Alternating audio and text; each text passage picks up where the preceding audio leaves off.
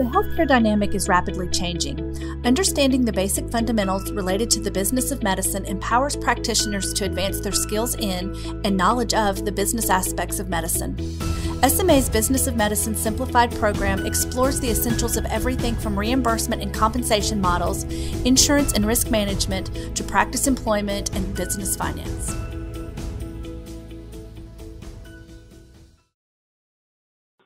Dr. Feldman, thank you for joining me today.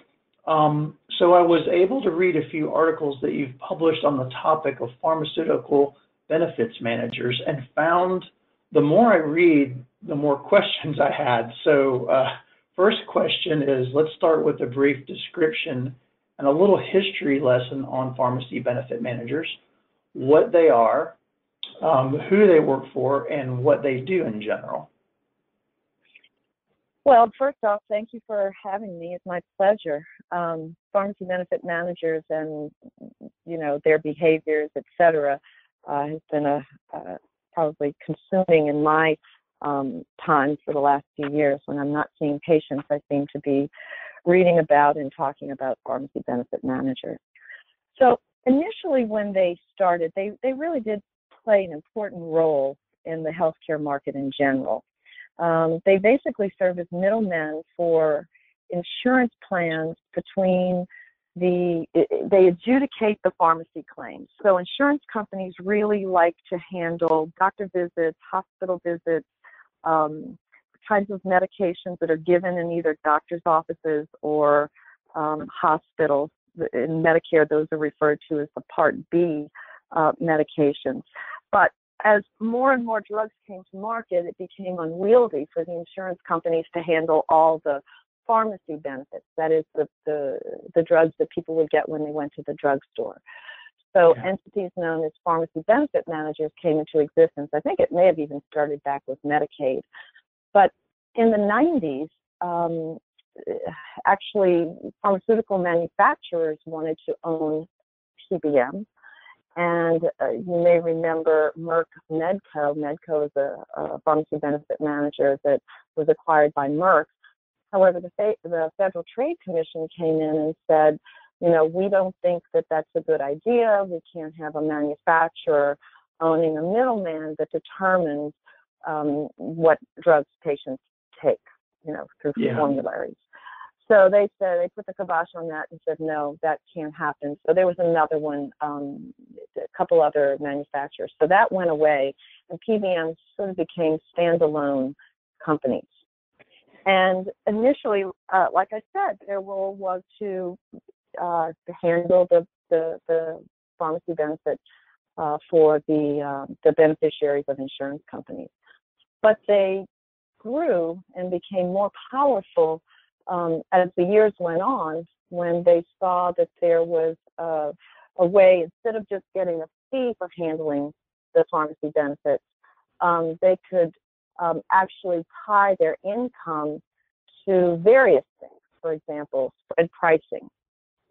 Spread pricing is where the pharmaceutical uh, manufacturer basically charges a certain amount to the PBMs and usually it's lower um, than what they have the employer or the insurance company pay them for the drug. So in that way, there's a spread on the amount that they spend on the drug and the amount that they're reimbursed on the drug. And then, as specialty drugs, you know, the, the expensive drugs, and a lot of the drugs that I use, the, the so-called biologic drugs, came out in the late 90s and early 2000s, these became very difficult to, um, I guess, manage, is the term that, that insurance companies use. Um, so they they went to their PBMs to somehow figure out a way that could reduce their costs for these very expensive drugs. And that created um, the tiering system with formularies you know, formularies for whoever is listening to this if they don't know what that is. That is the list of drugs that the insurance company or payer will pay for. If the drug isn't on the formulary, um, the patient can get the drug, the doctor can prescribe the drug, but they will have to pay for it on their own. It won't be covered. So that gets into formulary construction, and that's de- that's determined by the PBM, not the plan, really. Is that right? Yeah. So yeah, so PBMs they they they work for big insurance companies, and all of that changed this year when they were either bought or bought by big insurance companies, or employers could directly uh, contract with a PBM. Um, so it was either insurance companies or employers or states um, you know, Medicaid programs, the state would contract with the PBM. But yes, they would leave it up to the PBM to construct the formulary. And getting on the formulary um, is is uh, a touchy subject because manufacturers really want to be on the formulary because particularly if their drug is expensive, if it isn't on the formulary, no one's going to take the drug. I don't care how good that drug is unless the payer is going to pay for it. So it, there's competition to get onto the formulary. Um, and PBMs are the ones that construct the formulary, and only PBMs know how much they ultimately pay for the drug. Um, those companies, insurance companies, employers who hire the PBM, they have no idea how much that drug costs the PBM. The PBM then will go to the insurance company and say, we will set up the formularies, we will get rebates, meaning we will get money back from the manufacturer every time we um, uh, fill the script, and we will pass perhaps some of it back to you. Um, in the past, they really did not pass a lot of the rebates back. So what would happen is uh, a beneficiary, so say an Anthem, and this this happened a few years back, um, an Anthem beneficiary would go to the drugstore and pick up a very expensive drug. Um, Anthem would pay the price for it. Um, the PBM would, when that script was filled, would receive money back from the manufacturer and a certain amount of it might go back to the Anthem who paid the price for the for the drug. Right. Well, Anthem found out that they were not getting all of the money back from this particular PBM was Express Scripts. And right. so they sued Express Scripts and said, you know, we're not getting all of the money back. And eventually they fired Express Scripts. This was maybe wow. four years ago. And um, so insurers became wise to and employers. Um, well, there's all these rebates that PBMs are getting back, and we're not we're not um, benefiting from it. So yeah. PBMs started passing some of it back. The bigger the employer, the larger percentage rebate that was passed back. But there are still many small employers that do not get that rebate. And um, a, uh, a graph came out I think it was based on 2017 numbers, on what employers do with that rebate. You know, the the sort of the the meme out there is that these rebates go back to lower premiums, and that's sort of the PBM's um, take on it. And at least that's what they say. We pass these rebates back, and because of that, it lowers premiums. When you look at what employers do with those rebates when they do get them, less than 15% yeah. of the time it goes to lowering rebates. It usually just goes to the bottom line to pay for the drug cost. So it's a it's a it's a revenue source for the, the the company basically. Yes, and and the biggest revenue source is for the middleman. Um, and then the the other thing what has happened over the years is the pharmacy benefit manager has reclassified rebates as fees.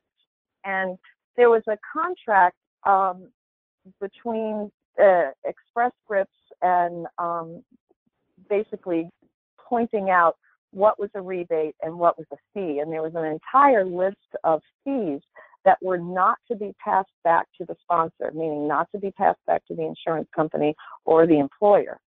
So if you have right. something known as a formulary rebate and you reclassify it as an administration fee, what you need to pass back to the employer or the or the insurance company shrinks and what you get to keep for yourself increases. And we've seen that happen. Formulary rebates at one point the average was about 50%, and that has gone down in the last year or so. the, the employer can add lots of transparency to the contract with the pharmacy benefit manager, the ability to audit the contract, the ability to um, uh, see perhaps how much formulary rebates are given back to the to the pharmacy benefit manager. However, the sponsor, the employer, or the insurance company still has no idea um, about what is in the contract between the PBM and the manufacturer. That is not part of the transparency to the employer.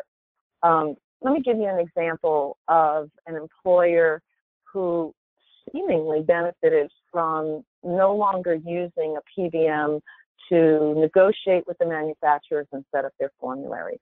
About, gosh, it's probably going on 14, 15 years ago, Caterpillar, the very large national company that insures all of its workers around the company, was noticing their drug spend was going up.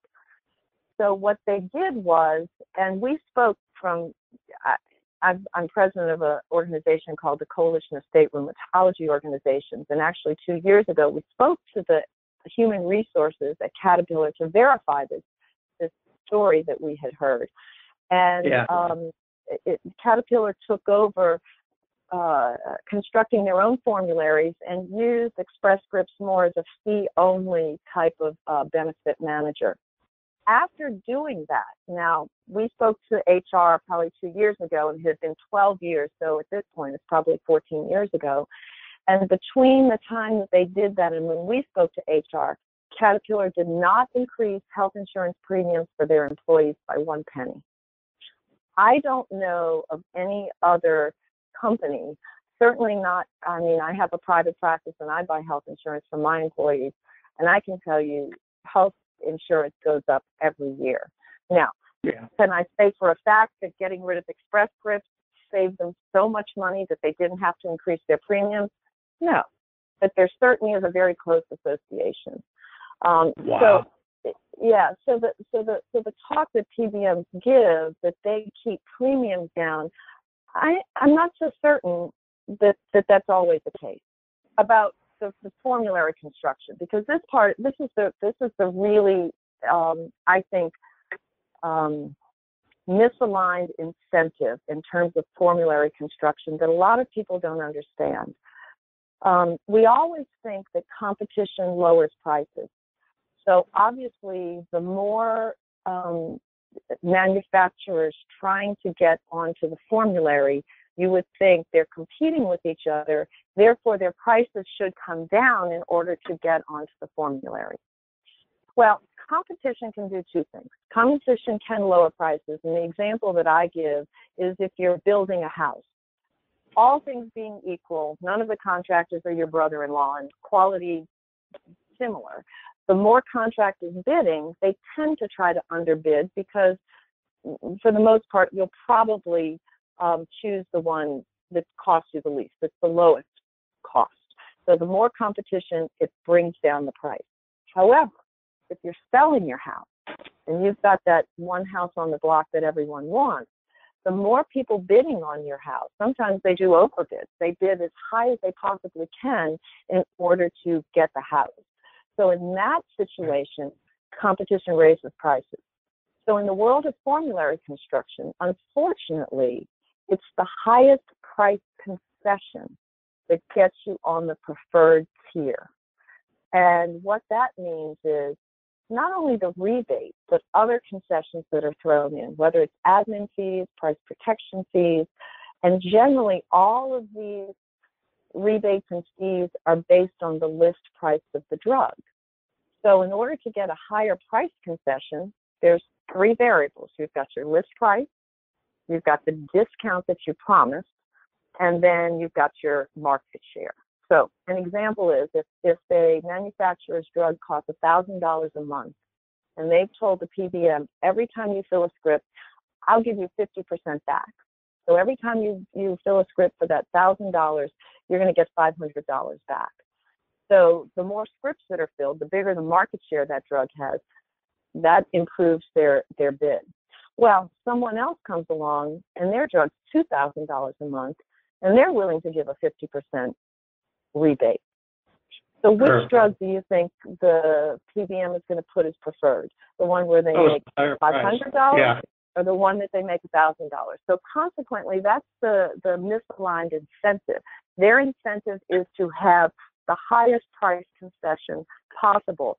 And I'm going to tell you, when it, it's it's not based on, you know, you can't have a drug that doesn't work there there are nuances among drugs that physicians should really have the ability to choose the correct medicine for the patient. But no, we are forced to use the drugs that make the most money for the PBMs first. That's called step therapy or fail first. We must use the preferred drugs and the reason why they're preferred, and the PBMs will tell you. I'm sorry, I can't put this lower price drug on because I will lose the rebate from the higher price drug and I'll make less money. You know, and they, they couch it in terms of, and your premiums will have to go up. But we've seen when PBMs are not involved, premiums actually drop. So that's kind of a specious argument. You know, it's nice that they can automatically increase premiums when their bottom line goes down. But, you know, when you take a company like Express Scripts that's no longer a single entity, but it's owned by Cigna, and they're number 22 on the Fortune 500, higher than any of the pharmaceutical manufacturers. You know, you start yeah. sort of saying, you know, maybe this is egregious behavior that they are yeah. maintaining higher list prices in order to keep their bottom line when we're saying we have a drug pricing crisis in the United States. Um, it just doesn't make sense that that's a system that we've perpetuated. So it sounds like middlemen, for lack of a better term, have simply developed new revenue streams by becoming PBMs. When they saw how much money PBMs make and how much money they were maybe skimming off.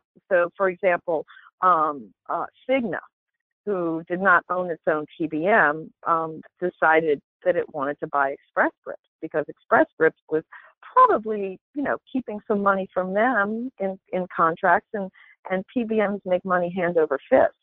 Um, yeah. Their profits, you know, they really they they don't do any research. They make no they make no medication. They don't even take control. They have no inventory. They are strictly middlemen, and their profits based on their assets are the highest in the industry. So they why wouldn't an insurance company want to own a PBM? And then, of course, CVS Caremark is a PBM, um, part of CVS Health, and they managed to scrape together $68 billion to buy Aetna. Um, so we know that the, the, the, PBMs are, are a very profitable um, industry. Wow, this is um, excellent information. Um, so please opine on the recent pullback from the CMS proposed rule that would effectively shifted rebates from PBMs and given it to the patients when they pay for their prescriptions? Well, let's go back to uh, CMS, the Center for Medicare and Medicaid um, proposed rule that came out earlier this year. So rebates are actually kickbacks. Um, and because of that, they needed to get what's known as safe harbor from the anti kickback statute. So they were granted safe harbor back in the early 90s so that they would be able to take these kickbacks and not be prosecuted um, for taking a kickback. So they could call it a rebate and they were immune to prosecution from the anti kickback statute. So the proposed rule that came out earlier this year would take away that safe harbor so that those rebates would then be culpable under the anti kickback statute. So consequently, manufacturers could not give the rebate to the PBM. And the other thing that the proposed rule did, it created a safe harbor for patients when they went to pick up their drug at the pharmacy they could accept the rebate and it wouldn't be considered a kickback, an enticement no. to take this drug. That's essentially what the what the rule said. We're going to take away safe harbor from the PBMs and we're going to give it to the Medicare beneficiaries. Now, granted, they had to count on the you know pharmaceutical manufacturers to give the same rebate back to the patients that they were going to give to the PBMs in order to Right. get a good spot on the formulary. Um, but had manufacturers not done that, they would have been digging their own grave at that point. Um, we were all very happy about this. As you can imagine, um, the PBMs were throwing a fit and saying this is going to increase premiums for Medicare beneficiaries. Essentially, they were saying you're taking money away from us, so we're going to basically charge seniors more. Um, it's again that that kind of behavior. No one seems to say that's wrong. You know, this is a Yeah. government program, but you know, the other side of it, it would have taken it away from Medicaid as well, and that probably was not the best thing because the Medicaid patients already pay so little. It probably would have taken money away from state governments, and that aspect of the the rule could have been taken out. Um, Yeah. But instead, the federal government withdrew the rule completely. Um, you know, and it really was a, a, a question of politics over over patients because when there were many many computations of how much the premiums would go up for Part D beneficiaries, and it probably was in the range of somewhere between five and ten dollars a month. So yes, the premiums would have gone up, but when you think about it, the majority, eh, let's say I think 30% of Medicare Part D beneficiaries actually get government subsidy to pay for those premiums. So that group would would be insulated from any increase in the premiums. All of the Medicare beneficiaries who pay their own premiums, Yeah. 93% go to the drugstore to pick up a drug. And it probably would have only taken one drug and the savings they would have gotten on that one drug to more than pay for any increase in um, in their premiums. So we've got seven percent of the, the Part D beneficiaries that may not have benefited from this rule, but the vast majority who can't afford their drugs when they go would have gotten, you know, who knows how much could it have been, 30%, 50% off the price of the drug. So that was not really a good argument. There were a couple of other things, you know, that the, the, the government would have ended up paying more in the long run, but it really did turn out to be um, the, the PBM lobbyists are extremely powerful in Washington, D.C. Consequently, that rule went away, and that was our best shot to have an immediate um, benefit, immediate relief to high drug costs for Medicare beneficiaries, and that just got the rug got pulled out from under it. So the question is, do we see any legislation on the horizon that may, um, in any way, benefit consumers? Um, Yeah. Yes, there are both in the House and in the Senate. Um, but from what I've read in one of the, the Senate bills, they did have a provision where the the the patient and we have to kind of backtrack a little bit on that because Yeah. we have to talk about the list price versus the net price to the people. Do you see any legislation coming down the pipe that will help help improve this situation? Um, so I prescribe these biologic drugs, and I'd say the list price is somewhere between five and ten thousand dollars a month. The PBM may get it for anywhere between two and five thousand dollars a month. But then Right. Tim charge the patient twenty percent on the list price. So if the list Ooh. price, is, you know, ten thousand dollars, the patients, if they've got a ten thousand dollar deductible, I mean, they have to pay, you know, when they have a a twenty percent coinsurance, every time until they get to ten thousand dollars, they have to come up with two thousand dollars, not twenty percent of the five thousand hypothetically that the PBM could be paying for the drug. So one of the provisions that was in um, one of the Senate bills would have allowed patients, consumers, to pay their coinsurance on the net price. And I just read that this got pulled. So that's sad, and I can imagine why it got pulled. There's a lot of um, the, the PBMs again probably were complaining Yeah. that they would have to raise premiums if that happened because their bottom line would have been affected. Um, so probably the the the legislation that seems to be perhaps getting the most push is that of transparency. And Yeah. there there is a, a, a section in one of the Senate bills that basically states that the amount of the rebate, the amount of the fees, the price protection fees, etc., will need to be um, essentially shown to agencies, and um, so they can see how much the PBM really is making. Um, that may stay in the bill, or they that may not stay in the bill. Um, so the the Senate bill, Lower Health Care Cost Act, that's an Alexander Murray. Um, it's basically trying to do some transparency and accountability.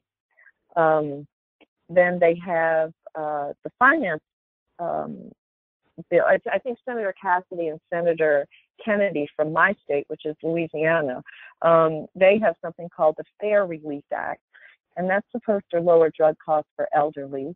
And um, but again, this is uh, this is going to be tricky because of the lobbying on both sides. So there are things there there is no final bill that has come through yet that's to be voted on by the entire House or the Senate. So everything is still in committee, and I think they're trying to do transparency um, bills, which I suppose is the first step. But my suggestion would be to construct formularies based on the lowest price, not the yeah. highest price concession. Because then the incentive would be to get on the formulary, you've got to lower your list price. You know, unfortunately for the PBMs, that would cut into their income, so they in no way would like to have uh, that. But if you think about it, it, it would benefit the employers because the employers then um, would have the benefit of lower prices and their employees would have the benefit of paying a co-insurance on a lower price. So everyone would benefit but the pharmacy benefit managers if formulary construction was based on lowest price and not highest price concession. So if a business can contract directly with PBMs to reduce their costs within their health plans, then associations need to do more to educate them. Sounds like we've identified a topic for our next podcast there's a there's a group called the Alliance for Transparent Affordable Prescriptions, and the American College of Rheumatology, along with Coalition of State Rheumatology Organizations, as well as a number of other professional and patient um, groups, have come together. And basically, the mission is to educate not only legislators and regulators, but physicians, patients, and we have tried to start a thrust towards businesses to understand how this um, formulary construction affects their bottom line. The PBMs exactly. have everyone everyone convinced, including the employers, that they're saving them money, and it's a it's a um, you know it's a mantra that's repeated over and over again, and they're actually you know now they have ads on television, you know touting that they've saved you know over a hundred billion dollars from uh, pharma, pharmaceutical manufacturers over the last year in, you know, wrenching these discounts out of them. But they're not wrenching discounts on the price. They're they're getting money back after the script has been filled. And I don't think that employers understand that they will save the same amount of money if it's actually a discount on the price. Um, right. PBM PBM said, well, employers have become addicted to the rebates that we're paying back to them, and they don't want to lose those rebates. Well, if they would explain to the employer, instead of paying $1,000 for a drug and we give you $250 back, you would only pay $750. They would save the same amount of money, but they have the business owners thinking they're making all this money on the rebates they're just spending more money to get it back later. And I suspect yeah. that the PBM is probably getting the drug for five hundred dollars, and you know, and yet they're giving the employer two hundred and fifty dollars back. But the part but the manufacturer then really only got five hundred dollars for their drug. So if yeah. the manufacturer were to contract directly with the employer, maybe they wouldn't give them 50% back. Maybe they give them 30% back, but the manu- but the but the employer would still be better off than getting a percentage of the rebate that the PBM gets back. I know it's gets very complicated and but business owners need to be made aware that there is a better way. and that they will still be able to save the same amount of money and maybe more if they would hire a transparent fee only PBM. They they are out there, um, but the big three, OptumRx, Express Scripts, and CVS Caremark, now that they're all either owned by or own an insurance company, um, this so-called vertical integration has really reduced the ability of uh, businesses to contract with a transparent fee only. Because if you're going to use Cigna as your health insurance company for your employers, employees, excuse me, um, you're probably going to need to use Express Scripts as their PBM. You yeah. can't. It's it's decreasing competition, and it was really sad that the Federal Trade Commission and the Department of Justice saw nothing wrong with these mergers. So, Dr. Feldman, can you share any examples where physicians were able to influence formulary construction? Well, you know, pharmacy benefit managers like to say that they have P&T committees that, and these include pharmacists, they include physicians um, that look over, you know, the choices of medications and make recommendations to what's on the formulary. However, I have been in meetings where a new drug was coming into the rheumatoid arthritis space, and they wanted to pri- price themselves, list price, uh, 50% off of what the leading drug for rheumatoid arthritis was charging.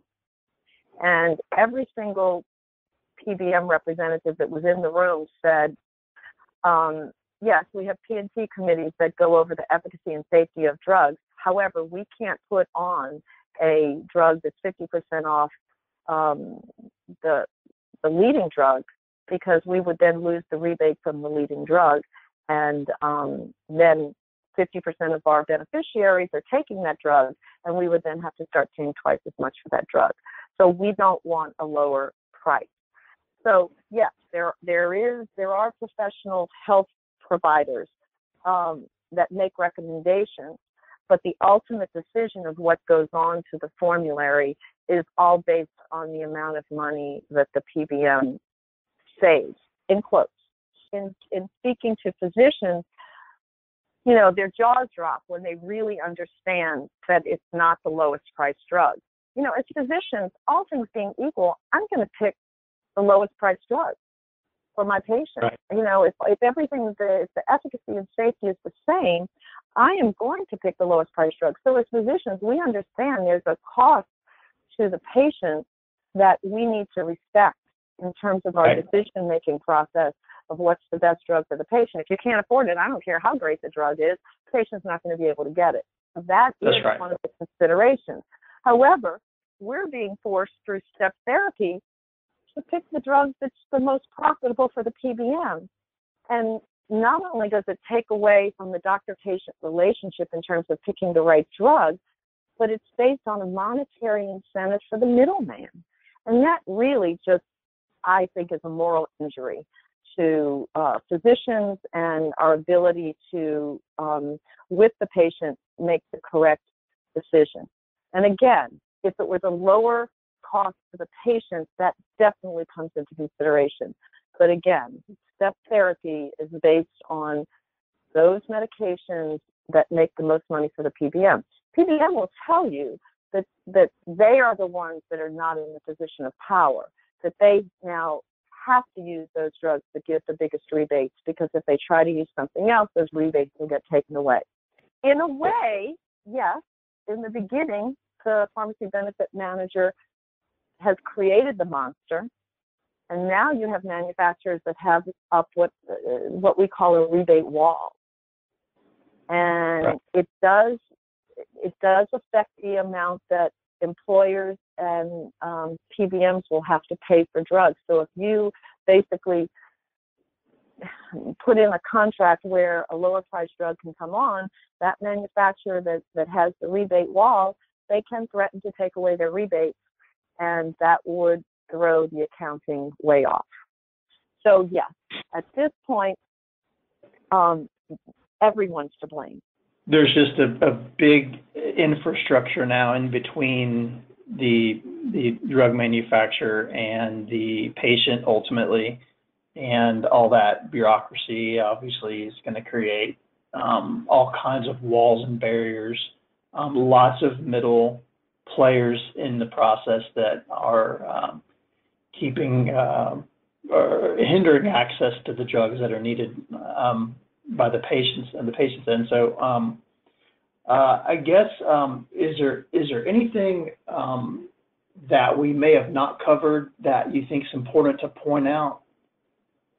I, I think sort of what you know what you basically said just now in terms of the system, and it's not just PBMs and the manufacturers. Um, you know, there are there are vendors in there and GPOs, um, all that make more money when the list price goes up.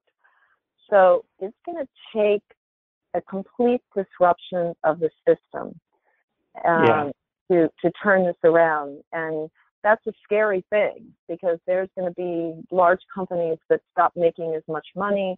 Um, I'm not certain if it can happen.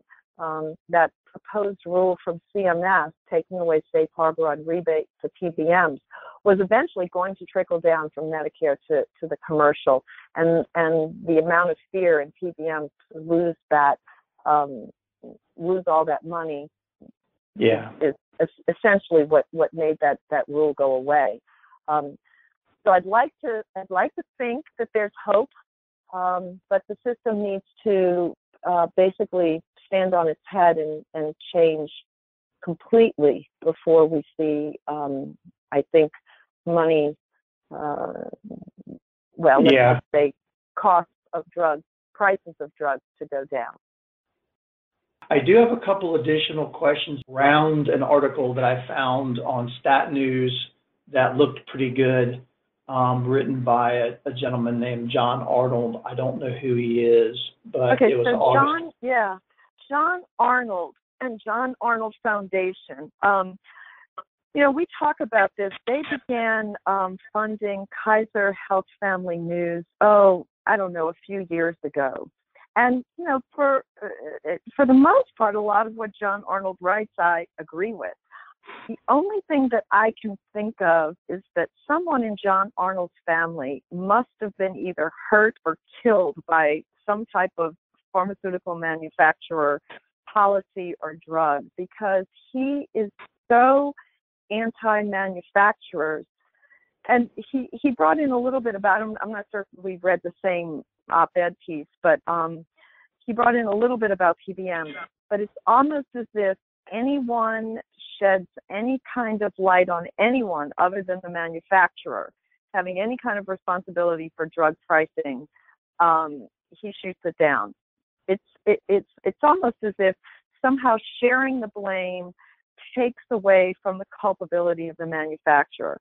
And I, I've at one point I was saying, how can I set up a meeting with John Arnold to just find out where this venom for the manufacturers. And I you know I'm not pro manufacturer by any stretch of the imagination. It's just that there are so many players in the drug distribution system that benefit from higher list prices. To focus everything on manufacturers, you're never going to solve the problem. And um, so, yeah, that's I probably read the the John Arnold piece that you're talking about, but I'll be happy to, you know, give my take on yeah. on Mr. Arnold. I, it was it was an op-ed piece. It was August 2018, and um, just to maybe touch on those real quickly. Um, mm-hmm. it, it, uh, so I read an opinion piece written by John Arnold, published on statnews.com, August 2018. The article uh-huh. was entitled, Are Pharmacy Benefit Managers the Good Guys or Bad Guys of Drug Pricing? One quote from the article makes the statement, As they currently operate, pharmacy benefit managers are part of the problem. But if incentives were realigned, pharmacy benefit managers could and should play more of a vital role in controlling runaway prices for prescription drugs. Do you agree with that? Or I, if I, so, I, how might a change in their role help? No, I do agree with that. Now, it's a question of what you call um, sort of realign the incentive. because if you've read, you know, some of the things that I've written about and understand the incentive for the PBM um, is to have a higher list price. There's no question about it. Um, and they come out and basically say if you do anything to um, touch our rebates or touch the way we calculate our fees or anything, premiums are going to go up. And because they it, it affects their bottom line. And sure. when they come out and, and you know basically say, and you read my price versus cost, uh, you know, it, yeah. it, it's it's it's the price to them doesn't make any difference. It's the cost to them, and it costs them much less, meaning they get more money when the list price is higher.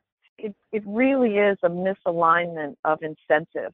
And so I agree with um, John Arnold on that. You know, it sort of goes take goes back to the history of why we even have PBMs. So I mean that's a, a good place to start because I think they did serve a purpose for insurance companies and employers, at least in their initial um, role. One other question uh, I did want to ask, and this may be unrelated, but um, sure. Uh, um, I've had uh, several family members who've needed throughout the years to get access to extreme, insanely expensive medications that were prescribed um, that were really, I don't know how anyone would pay for them, but somehow through the process of working through the hospital, they procured the prescription through some sort of a grant process. Um, is that well, related any way, or is that what's going on there? Yeah. So that you know, there's there's hospital, and, and we do it in our office all the time, and it's particularly for particularly for Medicare patients or patients who are underinsured um, to get a very expensive medicine.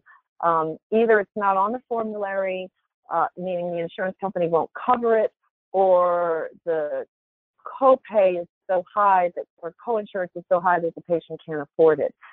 Uh, right. uh, pharmaceutical manufacturers have set up foundations um, in order for patients to apply to get free drugs.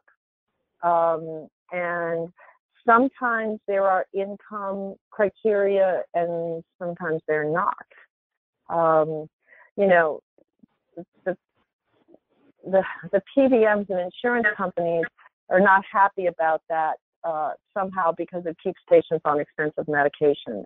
Um, but yes, and most of these foundations are um, funded by the manufacturer. Okay, so that's sort of a way around the PBMs from the manufacturer side, more to, probably to promote as promotional, or uh, you know, I, you know, I don't, I, you know, I don't view it that way. It's the same way when okay. you look at copay, as when you look at copay cards. There are good copay cards and there are bad copay cards. You know, copay cards, insurance companies and PBMs say, are used by manufacturers to keep patients on expensive drugs. Well, I would say that PBMs like to keep patients on expensive drugs as well when they choose a brand name over a, a generic because it makes them more money. But that's a different that's a different argument. The, the right. bad copay cards are ones that pay for drugs that have lower cost alternatives. There is a product out there that is basically a combination of two over the counter generic drugs. They've been put together into a pill, and that pill, a month supply, costs $3,500. Where if you went to your local pharmacy and bought your own anti-inflammatory and stomach medicine, you could probably spend, I don't know, maybe nine dollars and get a month oh, supply. Gosh.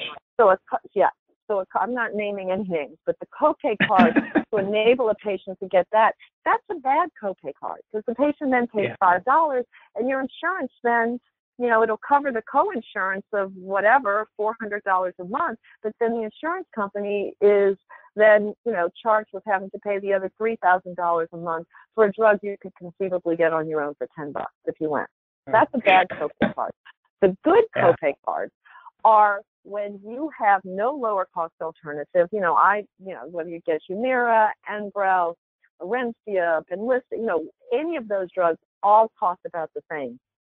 There's mm-hmm. no lower cost alternative. We've already been through the generic methotrexate and prednisone and you know Right. naproxen and all of those drugs, and they don't work. And here you have a coinsurance on a ten thousand dollar a month drug, so your coinsurance is going to be two thousand dollars, and you don't have it. So the manufacturers cover that two thousand dollars and pay the PBM, pay the insurance company that two thousand dollars, and you only pay five dollars, and you get the drug. That is a good copay card because without it, none of those innovative medicines would ever be taken. Um, Wow. So either you figure out a way to lower the coinsurance for the patient, i.e., maybe let them pay their coinsurance on the net price that the PBM paid for it, not right. the list price. You know, but oh no, no, no, PBMs won't do that, and in fact, they've gotten it taken out of some federal legislation that the, that the patients would be able to pay on the net price. So don't complain about a copay card that without patients would not get these these medications. Yeah. let them pay their coinsurance on the net price, and then maybe they might. And you know, it it could be for you know something like a Nexium, which is maybe four hundred dollars a month, and they get it for a hundred dollars. And you know, but Nexium has lower cost alternatives, and so again, I'm not Yeah. so sure that copay cards are the best for that. But when you've got no lower cost alternative and the patient's not going to be able to get the drug without the copay card, that's a good copay card. Yeah, I get And- that. That makes And so, so, so, you know, the argument, and there was, I can't remember, it was Bloomberg or New York Times had a headline. Manufacturers use copay cards to hook, and they use the word hook Uh, on their expensive medicine. I can tell you, my rheumatoid patients are not hooked on Enbrel. They're not hooked Right. on Arabia. They're not hooked on Actemra.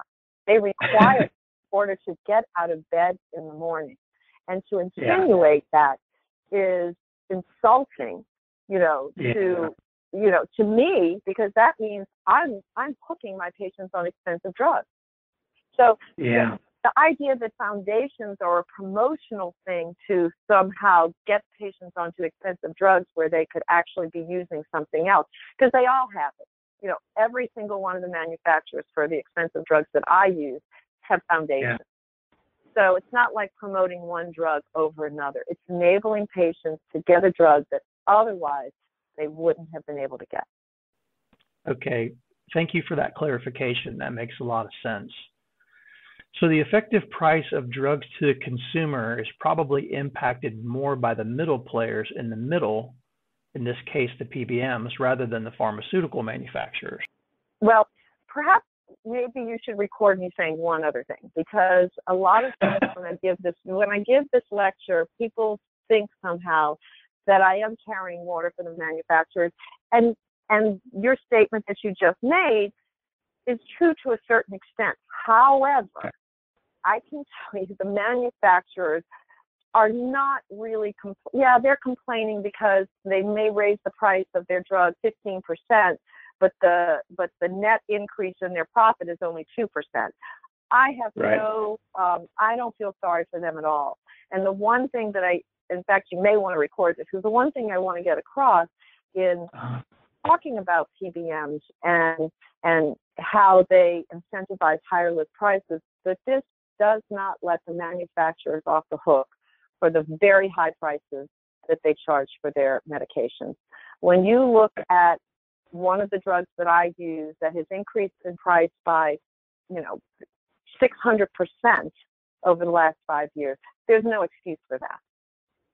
So yeah. there's more than enough blame to go around, and the manufacturers are on the hook as well. It's just that no one knows the role that PBMs play in this whole cabal, if you will. Yeah. And- Yeah, and I think you hit it. Um, to me, innovation and disruption are synonymous. Um, and uh, it, it, sounds like it's going to require some fundamental change. I think, you know, uh, our our position at, at SMA is that you know the more that we can educate people on these types of things and what is happening, um, then we can have more. We can have providers and patients at the table, or at least aware, so that they can start to um, become more involved in the process. Education is always a great way to shed light on these types of things, and and the time that you've spent today. I really appreciate. Um, I, I, don't know how you see patients and do all this work too, but I'm sure that uh, there are lots of people, us being one, really appreciate uh, what you're doing and especially taking the time today. Um, we would have love to have you uh, on again to uh, keep us updated as things uh, progress forward. I'd be happy to, and thank you um, for giving me the opportunity to um, to explain some of this very, very uh, difficult subject. Um, hopefully, made a little bit clearer to your audience today. Yes, ma'am. I'm, I'm, I'm certain it did. It, it did for me anyway. So thank you very much again.